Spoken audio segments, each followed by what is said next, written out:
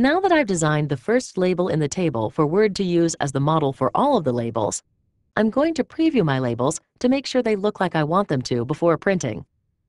To do this, on the Mailings tab in the Preview Results group, I click Preview Results to see what the actual label will look like for the first name in my recipient list. The address information from the data source has replaced the placeholder merge field. I can click the forward arrow button in the Preview Results group to preview the label for each recipient in the first cell of the table. Because I sorted the recipient list by postal code, that's how the names appear here. If I want to find a particular recipient at any point during the preview process, I click Find Recipient and type the name in the Find box. I can search for any information contained in the label. To speed up the search, I specify the kind of information I'm searching for.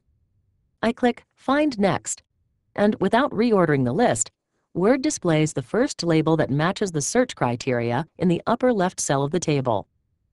If I see a recipient I want to exclude from the list, I go to the Start Mail Merge group, click Edit Recipient List, and clear the checkbox for that recipient. At this point, or at any point before printing, I can apply formatting changes by selecting the text and making the changes, just as I would to any text. For example, I don't want as much space between the address lines, so I'll switch over to the Home tab, and in the Paragraph group, reduce the spacing between paragraphs. And a couple of the address lines are running long, so, in the Font group, I'll reduce the font size. Then I'll switch back to the Mailings tab again. When I've finished previewing the labels and making changes, I save the document. Then, on the Mailings tab, in the Finish group, I click Finish and Merge.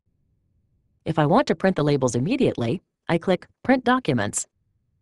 I can print all of the labels, just the current label, which is the one in the upper left cell, or a subset of labels. Word numbers the labels consecutively, from left to right and from top to bottom. Before printing, I make sure that I've loaded the label sheets in the tray of my printer. I check the printer settings so that, for example, I print the correct number of copies. I might want to click Properties to check further settings before printing. When I'm ready, I click OK and watch those labels roll off the press.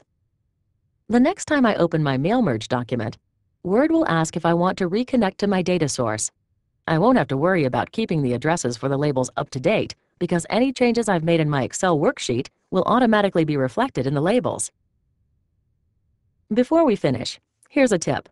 Let's say I'm going to have my labels printed at my local print shop, and I don't want to have to give them a copy of my data source.